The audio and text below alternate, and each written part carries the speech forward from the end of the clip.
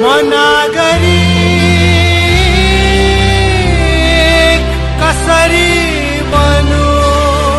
मना अर्को अलिक एउटा विभिन्न कुरा अलिक अर्कै कुरा गर्न चाहन्छु क्या पावर अफ द वुमेन आज म पावर अफ द वुमेनमा म कुरा गर्न चाहन्छु। सधैँ सकारात्मक सोचसम्म सुरु गरेदेखि हाम्रो लक्ष्य समूह भनेको सधैँ युवा। तर आज एक दिन चाहिँ तिनजना व्यक्ति जसले बोल्यो त्यो समय चाहिँ one of the most powerful ladies women of substance भन्छु म उहाँहरूलाई। अनि चाहिँ अर्को आज र भर्खर आइनले पनि भन्यो कि तिनजना छोरी जन्माउने आमा होइन? अनि चाहिँ आमाले बच्चालाई जन्माउने बेलामा चाहिँ गालामा यसो यसो गरेर कसरी राम्रो गर्थ्यो होला? आमा and daughters. So the power of the women.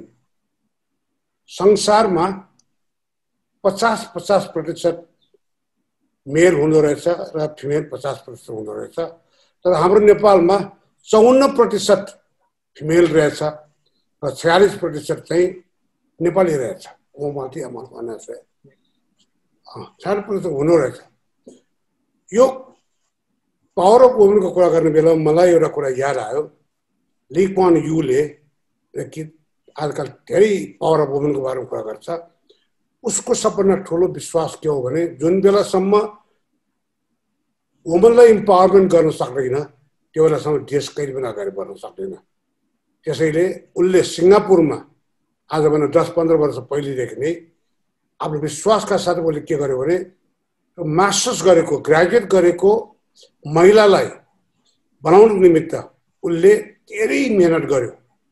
इन्सेन्टिभ्सहरू दियो स्कलरसिप्सहरू दियो त्यो जम्मै गर्दा गर्दै पनि त्यो फेरि त्यसले एउटा के गर्यो भने शिक्षित आमाबाट शिक्षित सन्तान पैदा हुन्छ। अशिक्षित महिलाबाट चाहिँ शिक्षित व्यक्ति प्रदान हुन सक्दैन भनेर लिक्वान युको एउटा सपना के थियो भने सिङ्गापुर एउटा यस्तो देश बनाऊ जहाँ इन्टेलेक्चुअल इन्टेलेक्चुअल मान्छे मात्रै चाहिँ त्यहाँ रह रहोस्। Highest number of intellectuals people he want to have it in Singapore in Singapore त्यसरी उसले एउटा के एउटा त्यो ल्यायो भने मास्टर्स गरेको श्रीमतीहरू मास्टर्स गरेको महिलाले सबै मास्टर गरेको युवाहरूसित बिहा गराइदिने यदि ग्रेजुएट गरेको युवा र ग्रेजुएट गरेको महिलासँग विवाह गरेपछि त्यो दुवैजना ग्रेजुएट भयो भने त्यसको प्रडक्ट्सहरू यति इन्टेलेक्चुअल हुन्छ कि Singapore can be the power house of the intellectual त्यो भनेर त्यसले त्यो गरेर त्यसले त्यो गर्यो दस वर्ष त्यो गरेपछि बडो गजबको परिवर्तन भयो तर अर्को एउटा परिवर्तन त्यसले के देख्यो भने चाहिँ अब उसले पश्चाताप लागिरहेको छ मैले यो किन गरेँ भनेर म अब ऊ त्यो सिङ्गापुर त्यो त्यो होइन कि अब जापानिज मोडल हेरिरहेछ जापानिजहरूले के गरिरहेछ भने चाहिँ श्रीमा त्यो महिलालाई घरको हाउसकिपिङ कामको निमित्त शिक्षा दिनु रहेछ। श्रीमानलाई कसरी हेल्प गर्न सकिन्छ? बच्चालाई कसरी गर्न सकिन्छ? भनेर अहिले त्यो गर्दा गर्दाखेरि happy people now very found is in the Japan र सिङ्गापुरमा। अब सिङ्गापुरमा एउटा चाहिँ त्यसलाई अब आजकल म्यारेज डिबेट भन्छ। त्यो वर्ल्ड डिबेट अफ म्यारेज भन्छ सिङ्गापुरको कन्सेप्टलाई अब त्यहाँबाट के भयो भने चाहिँ अब धेरै पढे लेखेको बुहारी चाहिँ आमा बाउले पनि मन नपर्ने रहेछ। र धेरै पढे लेखेको श्रीमती चाहिँ श्रीमानहरूलाई पनि मन नपर्ने रहेछ। श्रीमानहरू पनि जम्मै चाहिँ मेल इगोबाट। त्यो भएपछि चाहिँ सिङ्गापुरमा के हो भने अधिकांश धेरै पढेको महिलाहरूको बिहा नै भएन। होइन? बिहा नै भएन। अनि त्यो मोडल पनि अहिले त्यो के एउटा चाहिँ डामाडोल भइरहेछ। जबकि चाइनिज मोडलमा चाहिँ के रहेछ भने महिलालाई सकेसम्म चाहिँ लिनियल वर्क्सहरू काम गर्न दिने। टप टपमा होइन कि कामहरू गर्ने फ्याक्ट्रीमा फ्याक्ट्रीमा जम्मै काम गरिदिने अब घुम्दा घुम्दा चाहिँ हाम्रो इन्डियन मोडल या Nepali model Indian Nepali Indian भनेपछि चाहिँ almost we have the same socio political socio economical character भएको हुनाले हामी अब त्यही सब कन्टिनेन्ट सब इन्डियन कन्टिनेन्टकै अन्तर्गत पर्छ। त्यो अन्तर्गतको अहिले चाहिँ संसारले मानिरहेछ। हामी कहाँ? अब त भनौँ न होइन?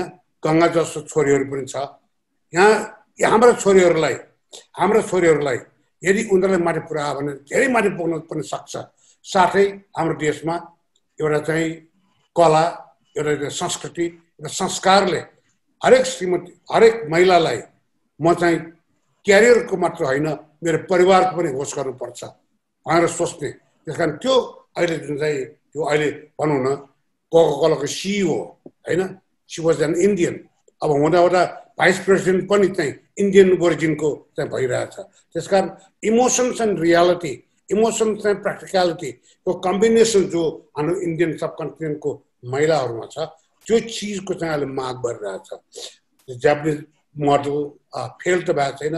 जापानिज मोडल इज क्वेसन होइन?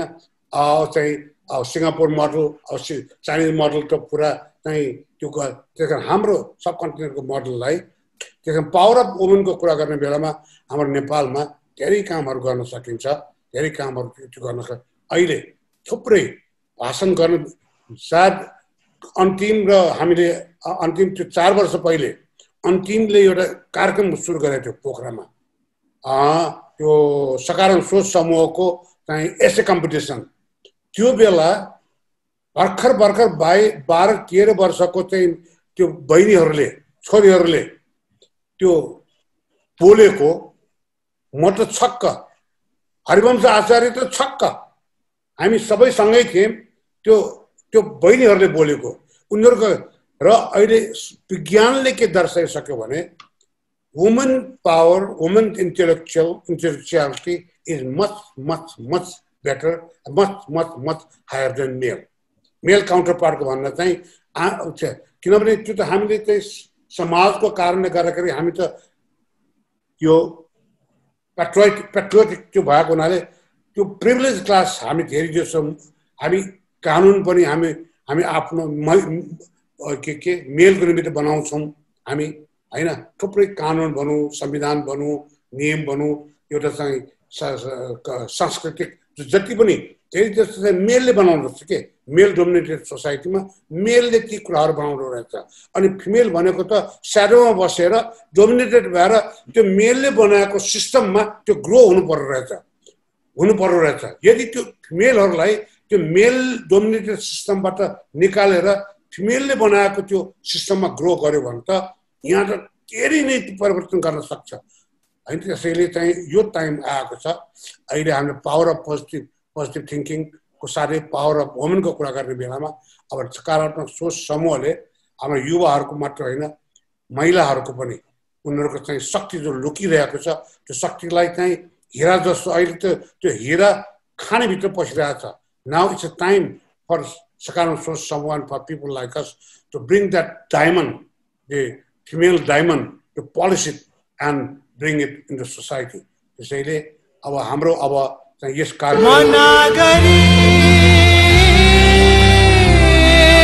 कसरी बनो? मनागरी